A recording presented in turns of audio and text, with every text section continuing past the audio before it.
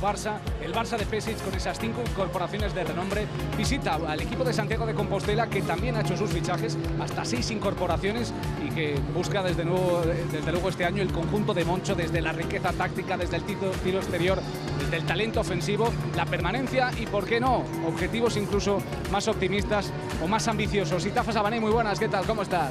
Buenas, encantado de estar. La primera noticia, Abrines va a debutar en esta liga andesa, incluido en la convocatoria después de quedarse fuera de esa Supercopa. Lesionados tanto Thomas Ertel como Kevin Pangos como Pau Rivas. Hay hueco para Abrines y hay hueco para Leandro Bolmaro, el jugador canterano argentino. Y es que hay problemas en el puesto de base. Solo tiene a Malcolm Delaney y Tafa Pesic como uno puro. Sí, solo a Delaney, que ya dijo en la previa que él está acostumbrado a asumir muchos minutos en los equipos en los que ha estado. Todavía le falta tiempo para acabar de acoplarse, pero ya conoce a Pesic, ya sabe su forma de jugar y se ve preparado. Le ayudará seguramente Adam Hanga y Volmaro en el, en el puesto de base. Lucio Angulo ya está con el alquimista, con eh, Moncho Fernández, un nuevo año más, el décimo al frente de este Obradoiro. Buenas, Lucio, ¿qué tal? ¿Cómo estás? ¿Qué tal? Muy buenas, Fran. Pues sí, muchas cosas cambian en la CB, pero hay algo que sigue, que es Moncho Fernández eh, a los mandos del Obradoiro. Bueno, ¿qué tal el equipo? Muchos cambios, refuerzos. Bueno, pues sí, como cada año nos ha tocado pues, cambiar, eh, algunos deseados, otros no, pero bueno, es nuestra forma de vivir la liga, ¿no? Se nos va mucha gente cada año, entonces tampoco es novedad eh, este. Y empezáis fuerte, eh, no sé si es mejor recibir al Barcelona ahora que se dice que está un poquito oxidado, pero este equipo no, no sé si estar oxidado no es, es relevante. Bueno, si tú ves la plantilla que tiene, los jugadores que tiene, no ha oxidado nada, es un grandísimo equipo, un transatlántico, pero bueno, eso to- también le da más mérito a que el Obradoiro esté en esta liga, ¿no? Jugando contra equipos de este nivelón. Y la última pregunta, sigues la tradición, los gemelos de la suerte, ¿no? Ahora aparecen unas zapatillas de Chuck Taylor. Es- Bueno, pues es un regalo que cada año me hace mi ahijado y esta no han tocado las Chuck Taylor, o sea que a ver si me traen suerte. Pues gracias y suerte, Moncho. Podría ser el nombre de su nuevo tirador, pero no. El nombre del tirador este año del Obradoiro es Fletcher McGee. Cada año se trae a un tirador en esos esquemas tácticos tan ricos, buscando siempre los bloqueos para sus tiradores. Y este es el jugador, Fletcher McGee, que viene con la vitola de ser el máximo triplista o el jugador con más triples convertidos en sus cuatro temporadas en toda la historia del baloncesto colegial de la NCAA. Bueno, el tirador con permiso del señor Costas Baseliades. Siempre. Nunca nos olvidemos de la ley de Costas, siempre vigente por aquí. Pero efectivamente Magui viene con ah, bastante nombre. La duda de siempre, cómo se adaptará a una liga tan complicada, tan táctica, tan defensiva como puede ser la liga andesa.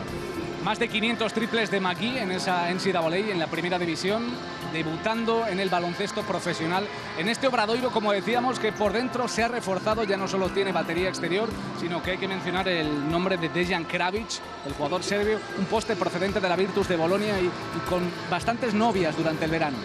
No, un, fichaje sorprendente para el ah, Obradoiro y clave para dar más equilibrio a un juego que en algún momento quizás en el último año pudo pecar de depender excesivamente del exterior. Con Kravic ya tienen un arma potente por dentro para que las defensas no puedan tanto centrarse en sus tiradores. Solo con Malcolm Delaney en el puesto de base, sin Ercel, sin Kevin Pango, sin Pau Rivas. ¿A quién utilizará Pesic en el puesto de uno suplente? Lucio, adelante, estás con el técnico serbio. Sí, estoy con Svetislav Pesic, que me ha permitido sentarme en el banquillo, gracias entrenador. Bueno, el puesto de base, sin pangos, Solo para saber, yo tengo cuatro asistentes. necesitas un base ¿Dónde yo, buscamos otro? y un base buscas. Ah, base. Tenemos también. Bueno, si llegáis con la baja de Pangos, Rivas y con Volmaro ayudando al equipo. Sí, es- esto es eh, parte de eh, parte de nuestra situación y, y esto es una pena que ahora Pangos que eh, que no puede jugar, pero hay otros como tú como tú dices en eh, Madrid estamos Ferrari, pero tú olvidas Ferrari juega en Manresa. Lamborghini. y, y Obradoiro, que se ha reforzado mucho, ¿no? Y por dentro, Brochanski, Kravic, grandes jugadores. Sí, ellos eh, jugamos hace siete días aquí. Último viernes fue un partido muy con eh, alta intensidad. equipo, eh, como siempre, no cambia algunos jugadores, pero concepto de juego de coach no se cambia. Y como todos los partidos, como todos los equipos, sabes, eh, necesitan poco tiempo adaptarse a nuevos jugadores, adaptarse al coach, coach adaptarse a nuevos jugadores. Y, pero ahora es una partida oficial, empieza la Liga Endesa y no excusa, tenemos que dar el máximo para, para jugar bien y si es posible ganar. Muchas gracias, entrenador, y suerte.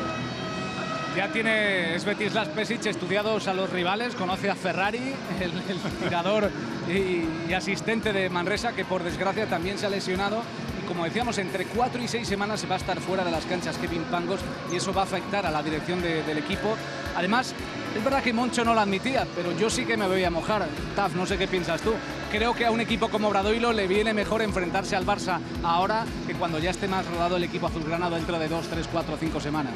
Creo que a cualquiera le viene mejor enfrentarse a esos grandes equipos. En el caso del Barcelona, más aún, porque hay muchos jugadores que hemos visto nuevos, ya vimos en la Supercopa que van a necesitar tiempo para acabar de, juntarse y ahora mismo pues después encontrar unos mayos que seguramente en unos meses ya no estarán aquí.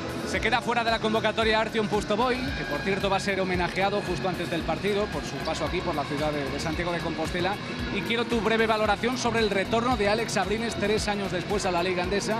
Vuelve a las canchas tras quedarse fuera de la Supercopa y está claro ¿no? que es, es un jugador de muchísimo nivel para el Barça. Sí, Alex uh, Abrines es el último de esos grandes fichajes del Barça en, uh, en, estrenarse. Venía con muchísimas ganas. Alguien se tenía que dar fuera durante la Supercopa, fue él.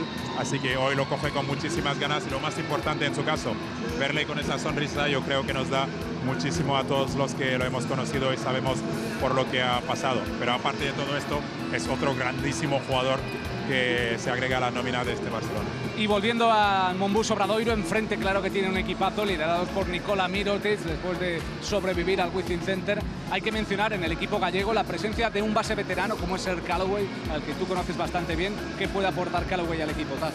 Bueno, lo que acabas de decir es un base veterano, ha paseado por uh, media Europa, es un base de muchísimo nivel, yo creo que les da un plus en la parte defensiva sobre lo que han venido teniendo esos últimos años.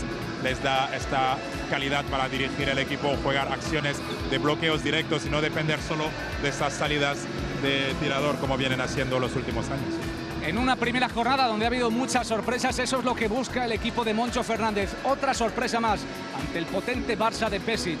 Un Lamborghini, un Ferrari, un todoterreno. Veremos la versión de este Barça aquí en Santiago de Compostela. Hacemos una pausa y volvemos. Hasta ahora. Thank.